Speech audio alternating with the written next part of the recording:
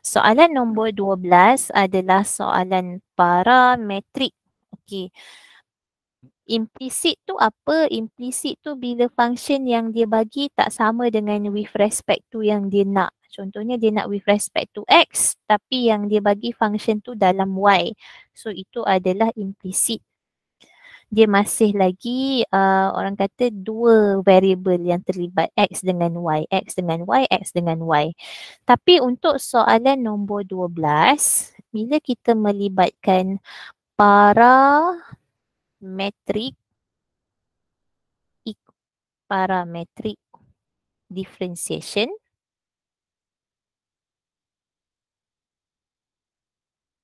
differentiation dia melibatkan tiga variable.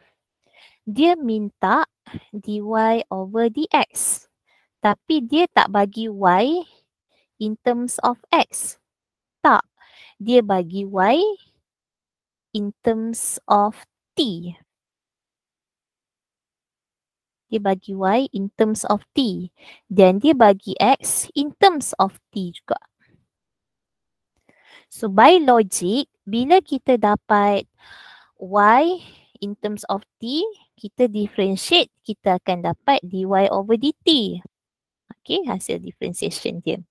Dan x in terms of t, bila kita differentiate with respect to t, kita akan dapat dx over dt. Dan hasil differentiation daripada sinilah.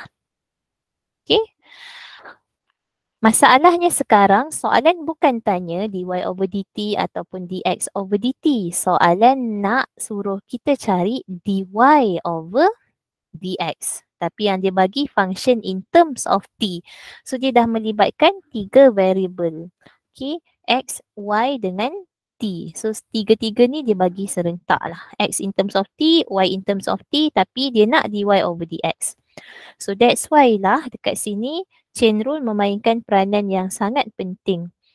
Because uh, kita nak dy over dx, so saya percaya awak dah selalu dah jumpa formula ni. dy dekat atas over something darab something over dx. Okay, kenapa saya tulis something ni? Sebab ikutlah apa yang dia bagi. Kalau dia bagi y in terms of m, x in terms of m, So something ni adalah dy over dm lah. Darab dm over dx. Okay. Sebab nanti hmm, kalau kat sini dia bagi y in terms of t.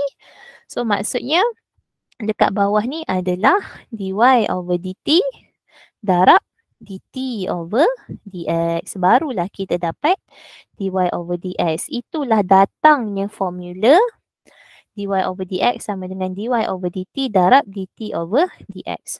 Untuk level awak, parametric differentiation, dia akan tanya sampai second order. Apa maksud second order? Ini first order. Ini first order. First order differentiation. Second order differentiation, adalah d squared y over dx squared. Okey, formula dia. Apa formula dia? Untuk d squared y over dx squared, yang ni dah belajar dalam kuliah dengan Sekai. Dah belajar ke tak? Dah se. Ha? Dah, dah medium. Dah salah. Dah medium. Okay. so apa formula dia? D squared y over dx squared. Saya kena check. Takut saya tersalah tulis nanti. Bahaya. Okay. Parametric differentiation. D squared y over dx squared adalah d over dt dy dx. So maksudnya nak tak nak kena cari dulu first order differentiation kita.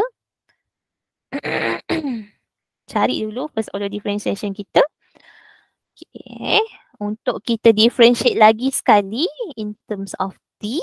Sebab first order differentiation kita dapat nanti in terms of t. So kita kena differentiate dia lagi sekali lah in terms of t ni with respect to t. Bahagi dengan dx over dt. Okay, saya tanya uh, dah belajar dalam kuliah belum? Sebab kadang-kadang ada juga lecturer yang tulis macam ni d squared y over dx squared sama dengan d over dt dy over dx darab dt over dx. Dua-dua ini adalah formula yang sama. Sama. Kenapa sama? Ini dia letak kat bawah. So dx over dt. Yang ni dia letak kat atas. Dia jadi dt over dx. So either or. Mana-mana yang bersesuaian dengan um, kita punya function lah. so ini first order dy over dx.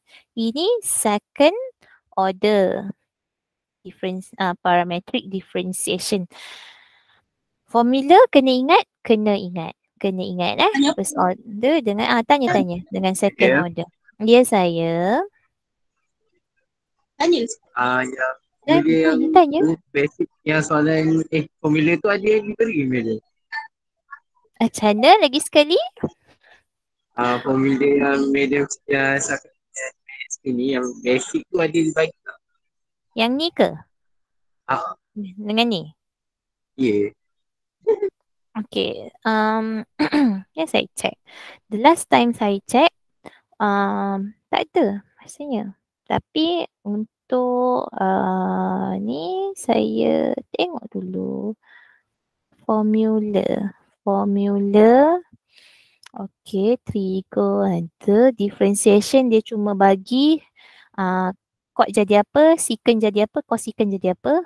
Sin, cos, tangent tak bagi ada dalam formula yang hari itulah. So kalau formula nanti saya cuba tanya lagi sekali you saya dah dapat ke belum list of formula untuk uh, exam awak ni. Kalau ikut sesi lepas ada diberi formula untuk parametrik. Okay, good question. So maksudnya uh, walaupun awak hafal, awak boleh juga uh, refer kepada uh, formula booklet in case awak terlupa. Maksudnya soalan parametrik memang kena guna dua formula ni. This one and this one or this one lah. Uh, yang dalam formula booklet dia bagi yang atas ni. Yang atas. Okay. Itu je ke nak tanya uh, ada tak dia bagi dalam exam tu? Ah, ya, yeah, madam. Okay, so kita dah tengok teori dia. So kita tengok soalan dia lah. Soalan nombor 12. dia kata find dy dx and d squared y over dx squared. Maksudnya dia nak dua-dua first order dengan second order. So kita kena cari first order dulu. What? Maksudnya dy dx lah. Yang kita ada adalah x equals to t squared minus 3. Dan y is equals to t cube plus T. So kalau awak buat ni accordingly, maksud saya buat ikut tertib, memang tak ada masalah sebab step dia memang sama sahaja. Okay, mula-mula kita cari dulu dx over dt. Of course lah sebab x in terms of t kan. So kita mesti dapat dx over dt is equals to 2t minus 0. Okay. So cari kat saya dy over dt sama dengan berapa? H1P6? H1P6? 3T kuasa 2. 3T kuasa 2? Tambah. Tambah? Tambah 1. Tambah 1. 3T kuasa 2 tambah 1. So tak perlu nak darab dengan dx, dy, dt ke apa ke. Sebabnya ni memang in terms of t dan kita nak with respect to t. So tak ada masalah. So ini je lah yang kita dapat. So boleh terus masukkan dalam formula dy dx sama dengan apa tadi. Yang ni sepatutnya kita tak lupa lah dy dx sama dengan mesti start dengan dy over dt times dt over dx.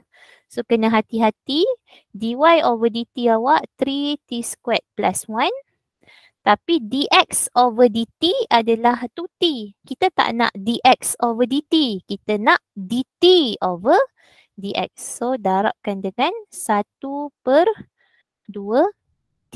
So jawapan dia adalah 3t squared plus 1 over 2t. Dah dapat jawapan untuk first order. Very easy. Okay. Seterusnya, kita nak cari d squared y over dx squared. So ini formula untuk first order dy dx. So formula untuk second order adalah d over dt maksudnya differentiation of dy dx yang kita dapat tadi bahagi dengan dx over dt. So ada orang dia suka cari ini dulu yang saya starkan tu. Dia cari dulu d over dt dy dx. Maksudnya kita kena differentiate siapa with respect to t? Ini eh. Ini dy dx awak yang kita dapat tadi. dy dx sama dengan 3t kuasa 2 tambah 1 per 2t. Maksudnya kita kena differentiate with respect to t. 3t squared plus 1 over 2t. Okay. Boleh guna uh, quotient rule tapi sebab saya tengok oh dia share denominator yang sama lah. So saya sebelum saya differentiate saya tak nak guna quotient rule. Saya nak asingkan dia satu-satu. 3 per 2 T. Ha, mana datang 3 per 2? 3T kuasa 2 bahagi 2T. Kita dapat 2 dengan T ni boleh potong. Okay, tambah 1 per 2 T kuasa negatif 1. Okay, bila saya dapat macam ni, bagi saya lebih mudah lah saya nak differentiate daripada saya nak guna U dengan V. Okay, let's say awak kata saya tak terfikir lah madam nak uh, asingkan dia macam tu, saya takut salah. Saya nak guna caution rule. Boleh, tak ada masalah. Gunalah caution rule. You will get the same answer. Don't worry. Okay, saya dah differentiate ke belum? belum perkataan D over DT operasi ni masih lagi ada dekat sini. Tadi saya cuma simplify dia. Sekarang saya differentiate. Saya dapat 3 per 2 tolak 1 per 2 T kuasa negatif 2 setengah. Okey, ataupun saya boleh ringkaskan dia. 3 per 2 tolak 1 per 2 T kuasa 2. Atau saya nak samakan penyebut dia. 3 ini darab T kuasa 2 eh. Dekat sini darab T kuasa 2. Darab T kuasa 2 supaya penyebut dia sama. So 3 T kuasa 2 tolak 1 per 2 T kuasa 2. Okay. 2T kuasa 2. Okay. So ini adalah differentiation of dy dx. Maksudnya apa yang saya cari ni hanyalah hanyalah bahagian atas ni baru. Ni bahagian atas ni baru. Okay. So ini jawapan dia. Tak habis lagi. Untuk cari second order differentiation dia adalah yang ini which is 3t squared minus 1 over 2t squared yang saya dah cari ni kena bahagi dengan dx over dt. dx over dt kita tak payah cari sebab dah ada dah dekat yang kita cari tadi. Mana dx over dt lah ni? 2t kan? So bahagi je lah dengan 2t. Ataupun awak kata eh siapa lah 2t nak letak mana lah. 3, 3t kuasa 2 tolak 1 per 2t squared bahagi 2t kan. So maksudnya kita darab dengan kita darab dengan 1 per 2t. So tahulah kita sekarang bahawa 3t squared minus 1 akan bahagi dengan 4t kuasa 3. So itu sahajalah jawapan untuk this uh, d squared y over dx squared. Saya cek dengan jawapan belakang kejap. 3T kuasa 2 tolak 1 per um, negatif. So, saya ketinggal negatif ke? Kejap. 3T kuasa 2. 3T kuasa 2 tambah 1. Oh. Oh. Kenapa tambah? 3T kuasa 2 tambah 1 per 2T tambah. Tapi negatif bawa depan kan jadi tolak. Kenapa jawapan belakang ni tambah? 3T. Tak apa. Saya cuba guna product rule d over dt 3t squared plus 1 over 2t. Okay, uh, kalau awak blur apa yang saya tengah buat sekarang, ni jawapan saya ni dy over eh salah. dy over dx. Eh betul, 3t kuasa 2 tambah 1 per 2t. Ah betul, salah tengok jawapan pula. Dy dx sama dengan 3t kuasa 2 tambah 1 per 2t, betul? Okay, lepas tu tak jawapan belakang tu untuk second order Ya Allah, saya salah tengok jawapan. Saya pergi tengok 12C. Okay, tak ada. Saya punya betul. Okay ke H1P6? Okey, madam. Uh, saya salah tengok jawapan tadi. Ini adalah jawapan untuk 12A. 3T kuasa 2 tolak 1 per 4T kuasa 3. Betul. Saya tertengok jawapan 12C. So, saya kata jawapan saya salah. So, sebenarnya jawapan saya dah betul dah. Saya tengok salah tengok jawapan je tadi. Okay, betul. Okay, so bila kita buat accordingly, benda ni sepatutnya tak salah lah. Sebab tu saya pelik kat mana yang saya salah. Sebab saya dah confident ini betul. Formula pun betul. Ini pun betul. Working pun betul. So kenapa jawapan salah? So saya salah tengok jawapan. Okay, so saya ulang lagi sekali apa yang kita buat. Cari first order ni tak ada masalah sebab formula dia mudah sahaja. Ma- tapi masalah awak mungkin masa nak cari uh, di second order. Sebab second order ni formula dia kita kena differentiate lagi sekali benda yang kita dapat dekat belah sini ni. Ni, ni. 3T kuasa 2 tambah 1 per 2T ni kita kena differentiate lagi sekali with respect to T. Itu yang dia buat kat sini. Differentiate lagi sekali with respect to T. Lepas tu baru bahagi dengan dx over dt kita baru boleh dapat jawapan. So tricky part dia kat sini lah masa nak differentiate lagi sekali dy dx ni. Macam tu. Okay. 10.38. Okay lagi ke H1P6? Ke too much going on? Is it too much going on? Okey lagi, madam. Okay. Boleh saya try lagi satu contoh. 12B atau 12C. Boleh, madam. Okay, jom kita buat. Nak B ke nak C? C. 12? C? C dulu. C. C. C. C. Okay, boleh kita buat 12C.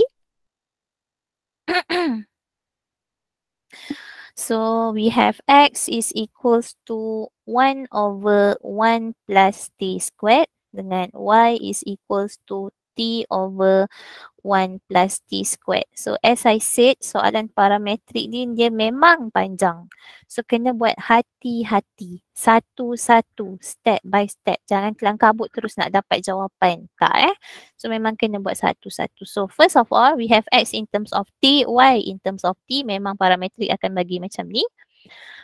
So, kita cari dx over dt lah. Dx over dt adalah differentiation of 1 over 1 plus t squared. Tapi sebab dekat sini saya boleh simplify dulu x2. Saya simplify dia jadi 1 plus t squared to the power of negative 1. Bila saya nampak perut dengan kuasa ni baru senang saya nak differentiate.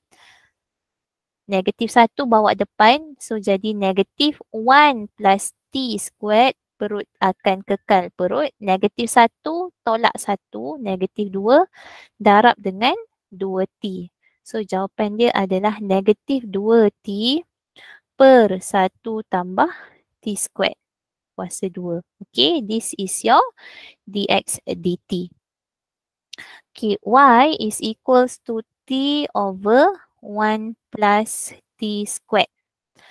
Okay, yang ni kita tak boleh nak bawa naik atas lepas tu kata nak guna chain rule ke apa, tak boleh. Sebab dia adalah dua function yang berbeza. So nak tak nak yang ni nak selesaikan dia kena guna product rule. So dy over dt is equals to v u prime minus u v prime. Saya kena guna quotient rule sebab dia bahagi over v squared. So saya belum cari lagi u dengan v kita apa. So u is equals to t, v is equals to 1 plus t squared. u prime is equals to 1, v prime is equals to 2t. Okay, masukkan v u prime. Okay, 1 plus t squared minus 2t squared over 1 plus t squared squared. Okay. 1 plus t squared minus 2t squared over 1 plus t squared. so saya dapat ini boleh boleh apa tu? Boleh simplify lagi jadi 1 minus t squared. Awak memang akan rasa bosan sebab saya yang buat. 1 plus t squared squared. So ini adalah dy over dt kita. Baru dy over dt. Belum dapat dy over dx lagi. Sabar. Okay. So kita kata untuk dapatkan dy over dx first order differentiation kita adalah dy over dy over dt darab dt over dx which is dy over dt 1 minus t squared over 1 plus t squared. Squared yang ni. Darabkan dengan dt over dx. dt over dx adalah 1 plus t squared. Squared over negative 2t. So awak nampak ada apple dengan apple dekat sini yang kita boleh cancel off. So jawapan dia adalah negative 1 minus t squared over negative 2t. Ataupun kita jenis orang yang positif, nak positifkan jawapan kita negatif daripada atas ni. Kita bawa keluar dia jadi t squared minus 1 Okay, bahagi dengan negatif dekat bawah. So, dia jadi T squared minus 1 over 2T.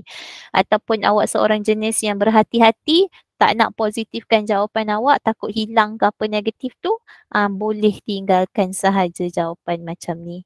Atau macam ni. So, kita check dengan jawapan belakang sebelum kita teruskan buat yang uh, second order t squared minus 1 over 2t. Okay, saya tak salah tengok dah. So, betul jawapan saya ni. Betul ya? Betul. Untuk first order differentiation dy over dx. Sekarang, kita nak cari d squared y over dx squared pula. d squared y over dx squared.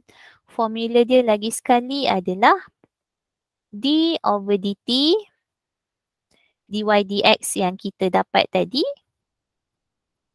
bahagi dengan dx over dt. So macam yang saya kata ke awak, saya tak nak terus cari semua ni. Saya cari d over dt dy dx dulu. Okay, apa maksud d over dt dy dx? Kita differentiate lagi sekali dy dx yang kita dah dapat tadi yang kita check dengan jawapan belakang betul tadi t squared minus 1 over 2t. Ha, masa latihan ni tak apalah boleh check dengan jawapan belakang kan. Okay, nak differentiate t squared minus 1 over 2t ni kena guna product rule. Sebab apa? Sebab bahagi dua function berbeza kita bahagi. So saya dapat u dengan v macam tu. So u u is equals to t squared minus 1. U prime sama dengan 2t. V is equals to 2t. V prime is equals to 2. So, masukkan dalam formula quotient rule. V U prime 2t darab 2t. 4t squared minus 2t squared minus 1 over 4 T squared. So kita boleh ringkaskan jawapan ni jadi 4t squared minus 2t squared plus 2 over 4t squared. Are you still with me? Yes, madam. Yes. Okay. So, jawapannya yes. adalah 2t kuasa 2 tambah 2 bahagi 4t kuasa 2. Okay, tak apalah um, tak nak simplify pun tak apa kita guna je jawapan ni untuk letak balik dalam formula second order kita. Apa jawapan kita dapat tadi? Saya kecilkan sikit. 2T kuasa 2 tambah 2 2T kuasa 2 tambah 2 bahagi 4T squared. Okay. Kita nak bahagikan dengan dx over dt. So ini, ini adalah apa yang kita dapat ini adalah ini. Kita masukkan eh dalam formula d over dt dy dx. Okay, bahagi pula dengan dx over dt. So tengok balik hasil jawapan dx over dt tadi. Negatif 2t over 1 plus t squared squared. 1 plus t squared squared. So nampak ada berlapis-lapis bangunan dekat sini. So apa yang kita boleh buat, susun je balik supaya dia tak jadi empat lapis, dia jadi dua lapis saja. 2t kuasa 2 tambah 2 per 4t squared kita darabkan dengan 1 plus t squared squared over negatif 2t. So kalau saya nampak dekat sini kita ada 2 t squared tambah 1 1 plus t squared kuasa 2 per aduh, per negatif 8 T kuasa 3. Ini darat dengan atas, darat dengan bawah. Okey, dapatlah macam ni. So, 2 dengan negatif 8 boleh simplify jadi uh, 2 potong dengan negatif 8 akan jadi negatif 4. Dan kita nampak ni sebenarnya uh, apple ni pun apple. Cuma ini apple pandangan uh, sisi sebelah kiri, ini apple pandangan sisi sebelah kanan. Kalau awak perasan dia adalah benda yang sama iaitu 1 plus T squared. Tapi sebab ini kuasa 1, ini kuasa 2. So bila kita darab, dia jadi kuasa 3 lah. Over negative 4 T cube. Finally kita dapat jawapan dan adakah sama dengan jawapan belakang? Panjang-panjang kita buat ni? Betul. Sama dengan jawapan belakang. So saya dah cakap awal-awal parametrik memang panjang tapi awak kena buat step by step dan kalau awak buat step by step mesti akan dapat jawapan. Okay, so this is the answer for the first order. Answer for the first order. Ni, dy dx sama dengan ini. This is the answer for second order. Tapi ingat nak dapatkan second order mesti kena differentiate lagi sekali first order kita. So ini adalah differentiation of kita punya first order tadi. Ni yang panjang ni. Okay. So dah dapat ini saya masukkan je balik dalam formula second order. Simplify dan dapat jawapan. Mesti akan dapat jawapan. Okay. Dia tak tak tak tak tak dapat jawapan. Ha, so kalau ada jawapan belakang yang skala which is tak ada lagi setakat ni untuk topik 9 so boleh bagi tahu saya ataupun awak yang tak dapat jawapan ataupun awak tak yakin dengan working awak ataupun awak start memang tak tahu nak start macam mana ataupun dah try banyak kali buat tapi still tak dapat ke apa ah boleh uh, bagi tahu saya lah. So basically itu adalah untuk soalan parametrik soalan 12A dengan 12C. Maksudnya 12B awak cuba try buat sendiri dan A dengan C ni pun cuba try buat sendiri juga. Kalau ada masalah boleh refer pada video saya ni. Dan kalau ada masalah lain daripada soalan nombor satu sampai soalan nombor dua belas ni tolong tolong uh, tanyalah. So itu sahaja saya rasa hari ini. That is parametric equation. Eh, sorry, parametric differentiation. So bahagian yang terakhir untuk topik 9. So next week kita akan masuk tutorial topik 10. Tapi sebelum ramainya, hai.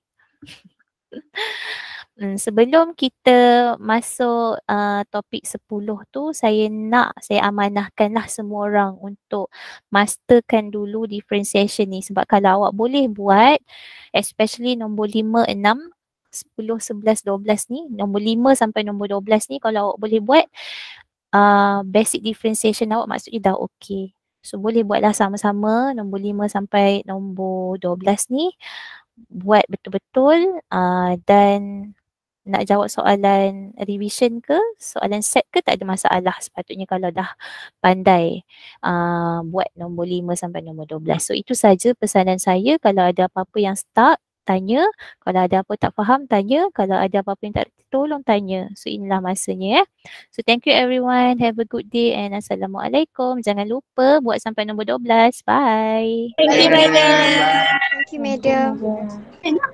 Thank you, madam.